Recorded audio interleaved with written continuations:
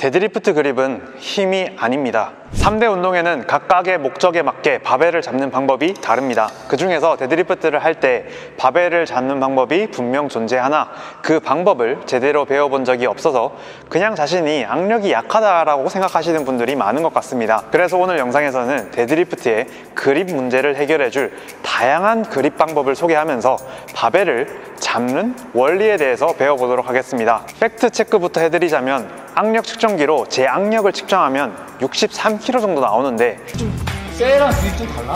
네, 다르죠, 다르죠. 와 63! 이야 역시! 나왔습니다. 이야 역시! 아. 양손을 합치면 120kg 정도고 그러면 제 순수 악력으로는 120kg 정도의 바벨만 버틸 수 있습니다. 근데 저는 250kg의 바벨을 맨손으로 들어본 적이 있습니다.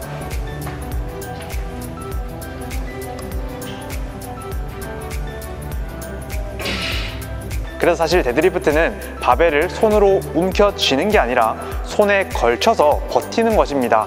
그래서 일부는 악력과 관계가 있지만 사실은 잘 버티는 방법만 배우면 되는 것입니다. 그리고 손이 작아서 바벨을 잡는 게 힘들다라고 하는데 제 손은 17에서 18cm가 max고 제가 사용하는 바벨은 1mm가 더 굵은 파워리프팅 바벨을 사용합니다. 즉 손이 크면 물론 좋겠지만 작아도 아무 지장이 없습니다. 자, 첫 번째로 바벨을 쥐는 원리에 대해서 알아봅시다. 직관적인 이해를 위해서 바벨을 들지 말고 pull-up bar에 매달려 봅시다. 처음에는 pull-up bar를 손아귀에 힘을 줘서 강하게 잡지만 점점 손아귀에 힘이 빠지면서 손 마디가 시작되는 부분에 pull-up bar를 걸쳐서 버티게 될 것입니다. 그리고 이렇게 버티는 힘이 생각보다 강하다는 것을 느낄 겁니다. 그리고 실제로 pull-up을 잘 하시는 분들을 보면 pull-up bar를 이렇게 잡는 게 아니라 이렇게 걸쳐서 잡는 것을 보실 수 있을 겁니다. 이처럼 데드리프트를 할 때도 바벨을 사실은 손으로 잡고 있는 것보다 버티고 있는 느낌이 맞습니다. 여러분들의 스트랩을 보더라도 스트랩이 갈고리처럼 바벨을 감싸서 버티고 있는 형상입니다. 그래서 여러분들도 바벨을 손 끝에 놓고 강하게 잡으려는 느낌보다 손 마디에 놓고 버티는 느낌이 더 올바릅니다. 자, 데드리프트 시 바벨을 놓치는 이유는 바벨을 손 너무 깊숙이 놓고 잡아서 그것이 풀리면서 구르기 시작하기 때문에 그것을 멈출 수 없어서 놓치는 것입니다.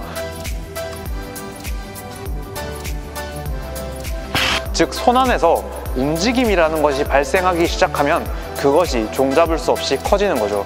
마치 큰 돌이 산 위에 가만히 있다가 갑자기 굴러 떨어지면서 속도가 더해지는 원리입니다.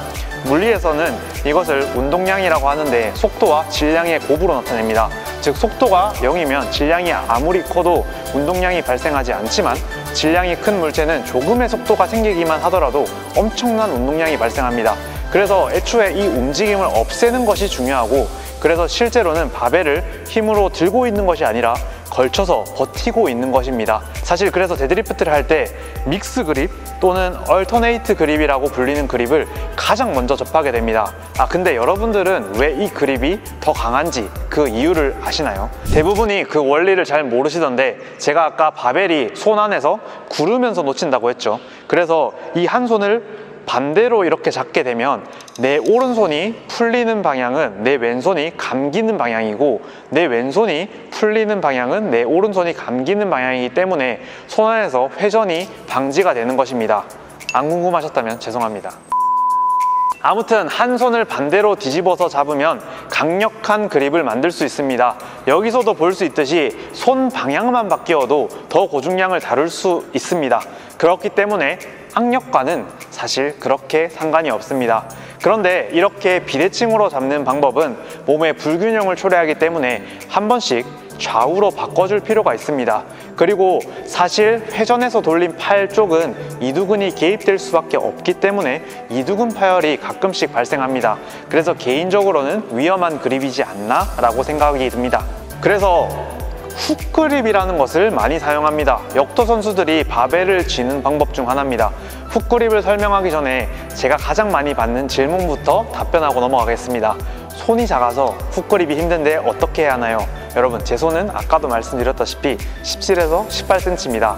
감이 오시나요? 딱 휴대폰 크기만큼입니다. 엄청 작죠? 그리고 제가 사용하는 바벨은 파워리프팅용 바벨으로 일반 바벨보다 1mm의 지름이 더 굵습니다. 그러니까 손이 작아서 힘들다라고 하는 것은 변명입니다. 자, 다시 본론으로 돌아와서 훅그립은 말 그대로 손을 갈고리처럼 만들어서 사용하겠다라는 뜻입니다. 바벨을 잡을 때 상대적으로 할 일이 적은 엄지손가락을 스트랩처럼 감싸고 그것을 검지로 한 번 더 보강을 해줘서 풀리지 않게 하는 것입니다. 훅그립의 포인트는 엄지와 검지에 있기 때문에 아까 말씀드렸던 손마디 시작 부분보다는 살짝 위일 수도 있습니다. 이건 손 길이에 따라 다르니 자신의 엄지와 검지가 가장 강하게 바벨을 버티는 부분에 바벨을 감싸주면 됩니다. 이때도 바벨이 잘 걸릴 만한 부분을 생각하면서 잡으시면 됩니다. 훅그립을 하는 방법은 손가락의 길이에 따라 좀 다른데 손가락이 기신 분들은 엄지로 완전히 바벨을 감싸지고 저처럼 손가락이 짧은 사람들은 엄지의 옆면으로 바벨을 감싸집니다. 그리고 나머지 중지부터 약지, 새끼손가락은 걸치고만 있으면서 또 버텨주는 추가적인 역할을 합니다. 다음은 사실 저도 잘 모르는 파워리프팅의 핵 고수들만 쓴다는 핑거틱 그립입니다. 그러니까 손가락 끝으로 잡는 그립인데 제가 좋아하는 러셀 오리라는 선수의 데드리프트 그립을 잘 보면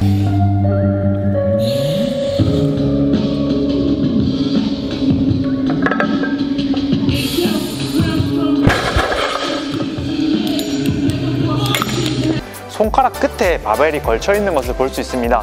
이것 또한 바벨을 잡는 느낌이 아니라 바벨을 손가락 끝에 걸쳐 놓는 느낌으로 바벨을 버티고만 있기 때문에 가능한 것입니다.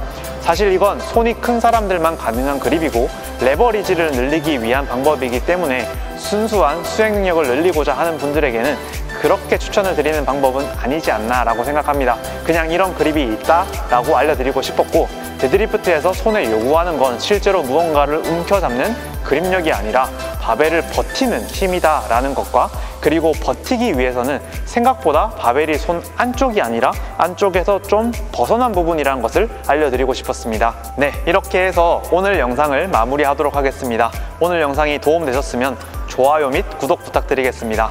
다음 영상에서는 3대 운동을 안전하게 실패하는 방법에 대해서 알아보도록 하겠습니다. 알람 설정해주시면 가장 빨리 영상 보실 수 있으니 알람 설정도 꼭 부탁드리겠습니다. 그럼 오늘도 안전하고 무거운 운동하세요.